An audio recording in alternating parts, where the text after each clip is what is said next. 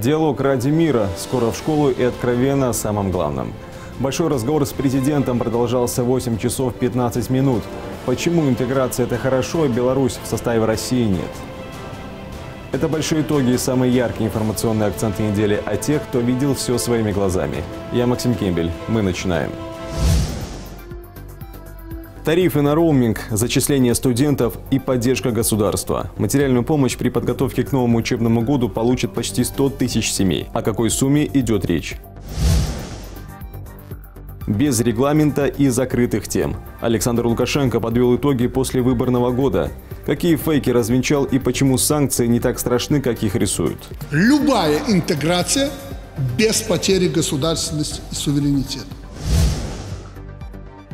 Учебный год стремительно приближается. Проверка показала, все школы города готовы принимать учеников. С нетерпением ждем и наших детей, и законных представителей 1 сентября на торжественную линейку. Где появился новый спортивный комплекс и откроют ли учреждения образования в седьмом микрорайоне? Прямиком с грядки к вам на стол. В Кировском районе собирают урожай арбузов. Средний вес рассветовского арбуза 7-8 килограмм, самого крупного 12. Где можно купить, сколько стоит и какая она на вкус белорусская ягода. Талибы рвутся к власти, аномально жарко и ЧП в Воронеже. Там взорвался автобус, сколько жертв и какая основная версия происшествия. Подробно, откровенно на любые темы. Александр Лукашенко подвел итоги после выборного года. Большой разговор с президентом длился больше 8 часов. Для такого формата это абсолютный рекорд.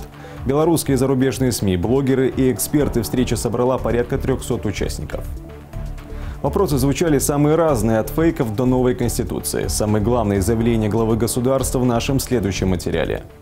9 августа, Минск, Дворец независимости. Ровно год назад история поделилась на «до» и «после». Выборы президента стали разделительной чертой. На дворе 2021 пришло время подвести итоги. В большом разговоре. На встрече 300 человек. Эксперты, блогеры, журналисты, силовики, члены правительства. Всех желающих зал вместить не смог. Большой разговор в прямом эфире на русском и английском. Каждый может следить за ходом встречи. Одной из первых тем становится интеграция. Александр Лукашенко заверяет – Беларусь никогда не была против теснейшего союза с Россией, но нас всегда держали на расстоянии. Говоря о вхождении в состав восточного соседа, президент отвечает, таким образом вопрос никогда не ставился. Любая интеграция без потери государственности и суверенитета. Я знаю, на, а, на что вы намекаете. Я осведомленный человек. У нас, помните, было 30 или 31 эта карта. Дорожная карта. Мы с Путиным сразу же выбросили 31-ю, которая имела политический подтекст, читая почти то, что я вам рассказал. Это было, это было предложение Владимира Владимировича на одном из переговоров. Очень мудро, умно сказал. Я говорю, слушайте, мы все время на нее наталкивались, чувство. Если мы не можем решить из 31 этой карты одну 31-ю, давайте ее отложим, давайте ее вообще выбросим. Там, помните, наднациональные органы и прочее. Я его поддержал в каком плане, Владимир Мы ничего не потеряем. Потому что у нас есть не наднациональные органы, а совместные ведомственные органы. Допустим, совместная коллегия Министерства промышленности России и Беларуси. Совместная коллегия Минобороны Беларуси и России. И они работают. И я задаю при всех там вопрос на переговорах. А какой вопрос мы не решили? Вот э, совместная коллегия Министерства иностранных дел Беларуси и России, вот министр, недавно они с Лавровым проводили ее. На союзном высшем госсовете собираемся, я как председатель спрашиваю, какие есть вопросы в этом плане? Никаких вопросов. Даже МИДы и Минобороны мы всегда в пример ставим. Ну работает же это. Зачем сегодня создавать э, впереди телегу лошади ставить, создавать, допустим, союзное министерство обороны. Не только мы, Россия к этому не готова. И это почему телега впереди лошади? Потому что начинать надо с единого закона, конституции. И там все должно быть прописано. Тема санкций. Евросоюз давно использует экономические рычаги давления на Беларусь. Это не есть хорошо, но мы привыкли. Президент и вовсе видит в такой ситуации немало плюсов, самый главный шанс выйти на новые рынки. Хотя даже при таком раскладе отношения Запада можно реанимировать, было бы желание. На встрече немало представителей зарубежных СМИ. Уважаемый президент, вы сказали, что литовские белорусские отношения сейчас никакие. Есть ли какая-то возможность, чтобы они нормализовались? И если есть такая возможность, что надо делать сторонам, чтобы все-таки вернуть то сообщение, то, э, то общение, ту, ту дружбу, что была до, до прошлого года? Слушайте, э, вот прямо отвечать, конечно, есть. И крайний вариант, ну, исключительный вариант, ну, не я и не, пос, не, не, не поседа, не уседа ваш этот, э, не я, не он, то кто-то без нас сделает. Ну, просто время много потеряем. Конечно, мы соседи, определенное все это Богом. И мы всегда жили, и мы будем жить э, как соседи мирно и дружно. Но когда, зависит сегодня от нас. Недавно такой вот э, луч э, промелькнул, э, грязный, но луч, что вот пусть Лукашенко сделает то-то, то-то, тогда мы будем о чем-то говорить. Слушайте, вы, ну вы мне условий не ставьте. Вы же знаете, что я не один и не пять лет у власти. Мне уже ставили много условий. Разные люди ставили. Не надо ставить. Вообще-то можете поставить, если имеете на это право. А вы не имеете права на это. Я не прятал э, у себя в Беларуси ни боевиков, ни оппозиционеров. Они что же у вас есть в Литве? Я же никогда этого не делал. Я не делал недружественных шагов в отношении Литвы. Ваш президент позвонил мне на, в прошлом году, по-моему, когда-то он мне по телефону позвонил, в 20-м начале или... А, пандемия уже была, мы как раз обсуждали этот вопрос. Слушай, лучший друг. Лучший друг. И что потом произошло? Что с вами случилось? Поэтому, э, если вы хотите, давайте начнем на каком-то уровне вести диалог но без всяких предварительных условий. Объясняет Александр Лукашенко, почему в августе он взял в руки автомат и вышел к силовикам. Ответ исчерпывающий. Они меня не предали, и я их не предам. Другие западные журналисты, как под копирку, спрашивают об одном и том же. Господин президент, как бы вы ответили вашим критикам, которые заявляют о том, что вы принимаете участие в репрессиях против гражданского общества, а, против а, свободы прессы в том числе, а, с учетом той посадки самолета, которая имела место быть господином Протасевичем. И, пользуясь случаем, также хотела бы пригласить э, вас э, дать эксклюзивное интервью телеканалу CNN, поскольку ранее э, до этого вы также говорили о том, что западная пресса не объективно освещает события в Беларуси, а эксклюзивным интервью мы, бы, бы мы смогли поговорить со всеми напрямую. Ну, чтобы не забыть куча вопросов по поводу интервью. Я не исключаю этого при одном условии. Если вы дадите все, что я скажу – не купируя, не вырезая, не добавляя. Вот скажете, что вот Лукашенко трудно было к этому диктатору попасть, но я изловчилась, взяла у него интервью, и вот слушайте. Вы задаете вопрос, я отвечаю. Наталья Николаевна, вы поняли условия. Вот на этих условиях договоритесь с пресс-секретарем. Что касается репрессий против гражданского населения.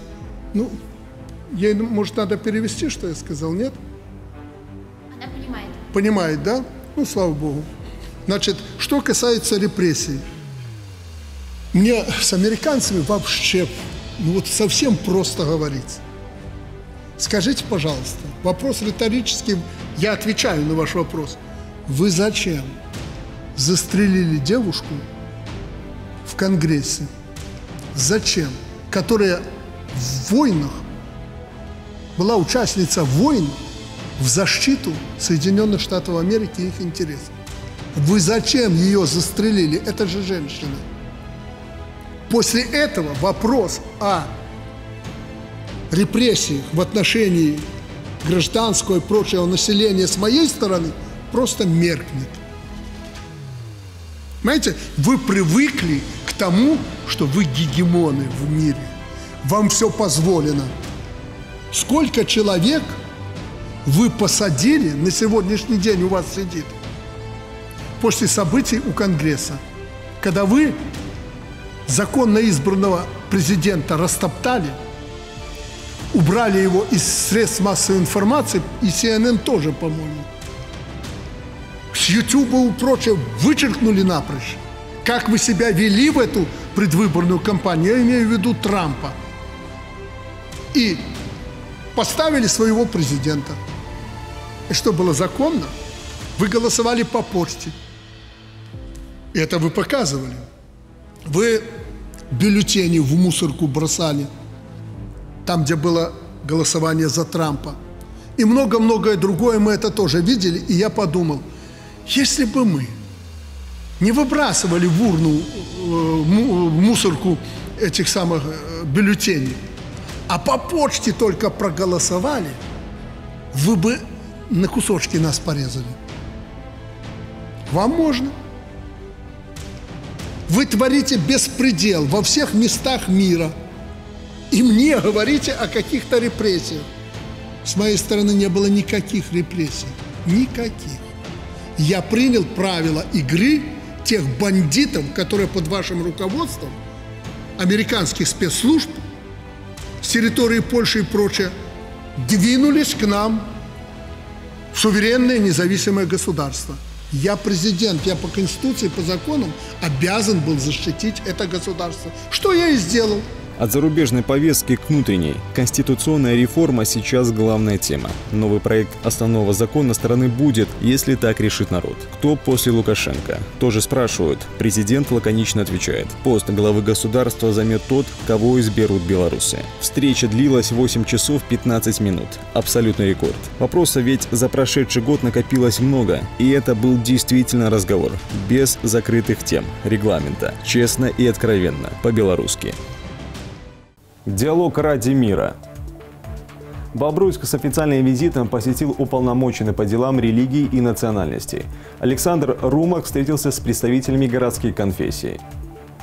С чем связан визит и какие темы обсуждали, все подробности у Карины Гуревич сохранить традиционную семью и воспитать подрастающее поколение. Об этом и многом другом шла речь в кинотеатре «Товарищ». Спикер уполномоченный по делам религии и национальностей. На противоположном фланге священнослужители нескольких конфессий. Встреча проходит в формате открытого диалога. Александр Румак отвечает на все вопросы, развернуто и честно. Особый акцент он делает на равноправие по отношению ко всем верующим. Межконфессиональный этнический мир – бренд Беларуси.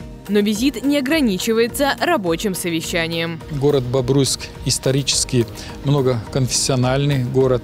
В нем на протяжении многих веков э, проживают люди, которые принадлежат к различным конфессиям, э, традиционным конфессиям в нашей стране. И при таком многоконфессиональном многообразии в городе э, конфессиональный мир и согласие. Александр Румак лично знакомится с работой каждой из конфессий. Первая остановка – костел непорочного зачатия Пресвятой Девы Марии. Уникальный памятник неоготической архитектуры. Гостя знакомят с интересной и богатой историей обители. Еврейский дворик – следующая локация. На днях музей под открытым небом отметил второй день рождения. В 2019 этом он принял первых паломников. Посещения исчисляются тысячами. Заглядывают и в синагогу. По поводу посещения есть как бы, можно здесь, э, как слово прихожан, э, это предела двух-двух с половиной тысяч, если вот разобрать э, в единицы, скажем так. А если говорить о общей посещаемости, э, может дойти до 15 тысяч человек в течение года. Это большой акцент на туристов, на лекции, которые здесь проводятся. Центр Покрова встречает делегацию. Здесь помогают семьям, беременным женщинам, детям-инвалидам. Добрые дела всегда поддерживает православная церковь. Стоит отметить, в Бобруйске большое внимание уделяет духовному воспитанию молодежи. В каждом приходе есть своя воскресная школа. Сейчас каникулы, дети отдыхают, но у нас также в церкви есть лагерь «Дружба», летний лагерь в районе Каменки, под Бобруйском находится, в лесу, в красивом месте. И там у нас несколько смен, примерно 80 детей занимаются. Монастырь святых жен Мироносец. Вниманием обойти ну никак нельзя. Открыт он в самом сердце Старого Бобруйска, на территории крепости в 2008 Раньше на этом месте были руины, теперь идет активная застройка. Сейчас все силы брошены на возведение храма святого Александра Невского. Работы приближаются к финалу. Монастырь – это административные и жилые помещения. Здесь же два храма. В будущем обитель превратится в целостный архитектурный ансамбль. В планах создать монашеский корпус, мастерские и духовно-просветительский центр. Завершается визит в Каменке. В здешнем доме-интернате воспитывают постояльцев не только физически, но и духовно. К слову, в нашей стране проживают представители 156 национальностей. В Бобруйске большинство общин православные. Их 28. В масштабах всей области почти 300. Карина Гуревич Максим Галеонко. Итоги недели. Предотвратить трагедию. В Бобруйске усилили контроль за безопасностью несовершеннолетних на дорогах. По всей республике проходит акция «Берегите детей». Завершится она 18 августа. 34 ДТП. Два ребенка погибли, 40 пострадали. Статистика с начала года, и это только по Могилевской области. ГАИ напоминает, малышей до 5 лет необходимо перевозить в специальных автокреслах. Для детей до 12 следует приобрести бустеры или специальные подушки для сидения. Нельзя оставлять без внимания дорожную безопасность юных пешеходов и велосипедистов. Начала года в области с участием детей-пешеходов зарегистрировано 9 аварий. 9 несовершеннолетних получили травмы. В 6 ДТП пострадали дети-велосипедисты. По вине детей произошло 7 дорожно-транспортных происшествий. 4 факта по вине детей-велосипедистов, 3 по вине пешеходов. Не лишним будет рассказать детям о безопасном поведении на дороге, а лучше показать личным примером.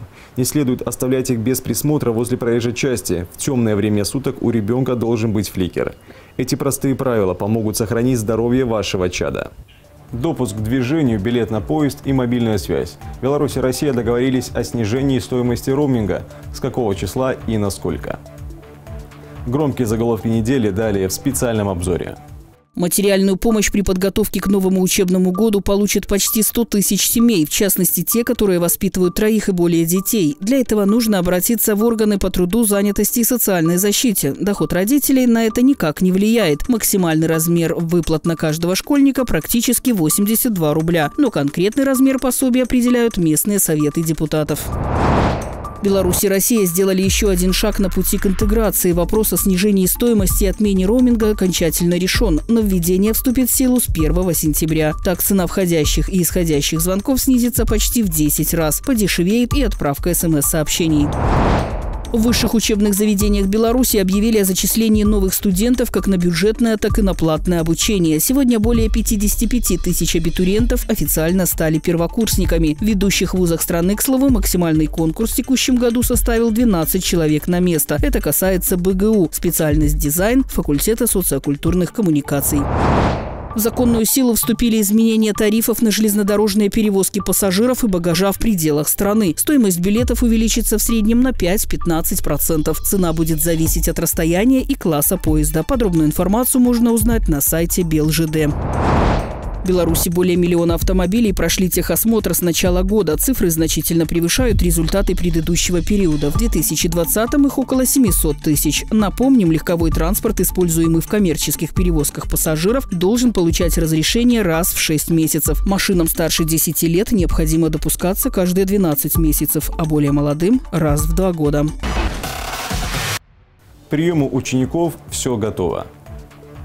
Бобруйские школы зря времени летом не теряли. Одни красили, другие оборудование устанавливали, а третьи обзавелись современным спортивным комплексом. Но больше остальных День знаний ждут жители седьмого микрорайона. Там свои двери распахнет новое учреждение образования, рассчитанное на 1020 учеников. На каком этапе строительства и какие факультативы ждут ребят, разбиралась Ольга Васенда.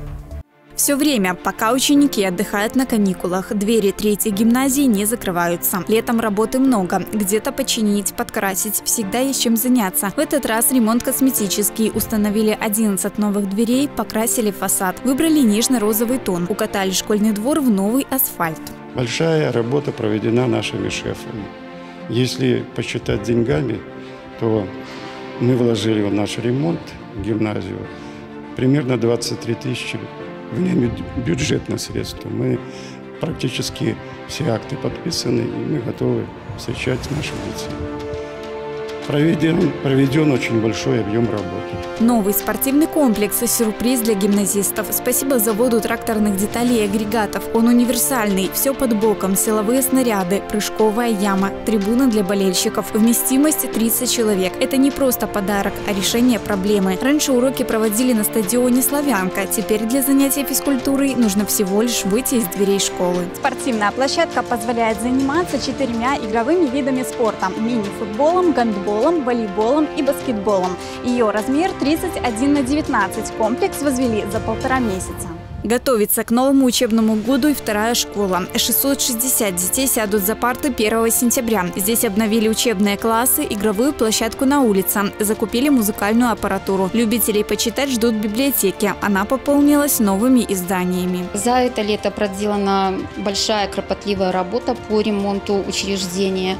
Школа готова принять своих учеников уже сегодня, и мы с нетерпением ждем и наших детей, и законных представителей 1 1 сентября на торжественную линейку. Все школы города готовы принимать учеников. Таковы итоги проверки. 34 учебных заведения будут работать в новом учебном году. Инспектировали буквально все, начиная от спортивного инвентаря до благоустройства территории. Особое внимание – безопасности. Замечаний нет. Значимым событием 2021 года станет открытие с 1 сентября средней школы номер 35 на 1020 мест с бассейном.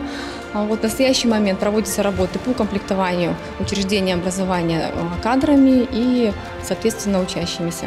Новый учебный год внесет коррективы и в школьную программу. Так введут новую должность – руководитель по военно-патриотическому воспитанию. В пятых-шестых классах появится факультатив по духовно-нравственному развитию. Ольга Васинда, Дмитрий Шевцов. Итоги недели. Полосатая плантация. В Кировском районе собирают арбузы. Больше 40 тонн уже отгрузили в магазины. В «Рассвет» налегают на бахчевые второй год подряд. Это единственная организация во всей Могилевской области, которая реализует их в промышленных масштабах.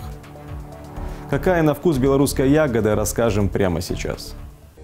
Дмитрий Чеканов три года назад сделал крутой поворот своей жизни. Уехал из города ради сельских красот. Спустя время, признается, ни о чем не жалеет. Работает в хозяйстве «Рассвет» садоводом. Должность сладкая во всех смыслах. Собирает яблоки, черешню, вишню. Настал черед и арбузов. Трудится по 8 часов в день. Коллектив нравится, начальство нравится, нравятся отношения. И в коллективе, и начальство коллективу. Здесь все понимают друг друга. Полным ходом в хозяйстве идут работы. С 5 гектаров собрали больше 40 тонн, практически половина от плана. Бахчевые здесь выращивают второй год подряд. Результатами довольны. В мае высадили около 30 тысяч присадок. Семена турецкие. Средний вес рассветовского арбуза 7-8 килограмм, самого крупного – 12. На складе полосатые ягоды не залеживаются. Сразу после сборов отправляются на прилавки магазинов.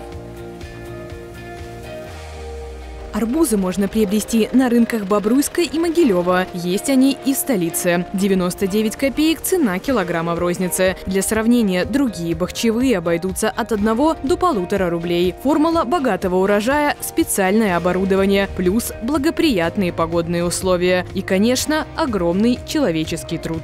В прошлом году мы закупили необходимую технику для посадки арбузов. И спонбонд укрытия, э, специальный агрегат – посадочная машина, рассадопосадочная машина, потому что мы рассаду выращиваем в теплицах, а сюда уже высаживаем рассаду. СПК «Рассвет» крупнейший в области. Численность около 900 человек. Выращивают хлеб, черную смородину. В теплицах огурцы и томаты. В открытый грунт – капусту, лук, сахарную свеклу и картофель. В 2020-м посадили грецкий орех на площади в 9 гектаров. Первый урожай планируют увидеть через 4 года. Карина Гуревич Максим Галеонко. Итоги недели. Чемпионат по очистке креветок, летний зной и месив ПСЖ. Аргентинец провел первую тренировку в составе парижан, что стало ключевым фактором при переходе. Далее обзор громких мировых заголовков.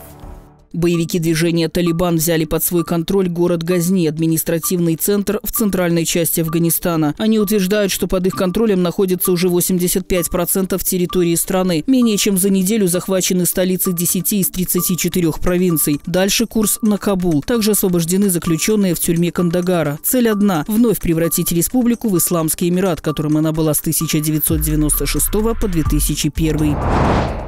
В Воронеже взорвался автобус. Инцидент случился на остановке в центре города, недалеко от одного из самых больших торговых объектов. Первую помощь пострадавшим оказали прохожие. Основная версия – неисправность технического оборудования. В результате происшествия погибли два человека. Всего к медикам обратились более 20 пострадавших. Под влиянием африканского антициклона «Люцифер» Италия переживает затяжной период аномальной жары. Во многих городах температура превышает 40 градусов. В среду была зафиксирована максимальная температура воздуха в Европе с 1977-го – 48,8. Из-за засушливой погоды особенно активно распространяются лесные пожары, жертвами которых стали по меньшей мере 5 человек. Такая жара, по прогнозам, продержится как минимум до 15 августа. Лионель Месси официально перешел во французский клуб Пари Сен-Жермен. Возможность снова играть с экс-нападающим Барселоны Неймаром стала одним из ключевых факторов при подписании контракта. Фанаты ПСЖ устроили аргентинцу по-настоящему теплый прием. К слову, футболист становился обладателем Кубка европейских чемпионов аж четыре раза в составе родной команды, которой посвятил 21 год своей карьеры. Скорость, концентрация внимания и точность ювелира. Во Франции состоялся 16-й чемпионат по очистке креветок. Традиционное соревнование проходит ежегодно на севере страны. Участие в нем приняли 60 человек. Каждому выдали 125 граммов морского рака. Обработать их нужно было за 10 минут. Лучше всех справилась с этой задачей представительница Бельгии. Вес очищенных ею продуктов составил 116 граммов. Титул чемпионки она завоевала уже в третий по счету раз. Такими уходящие 7 дней увидели корреспонденты «Бобруйск-360» и я, Максим Кембель. Новая неделя, новые итоги. Увидимся.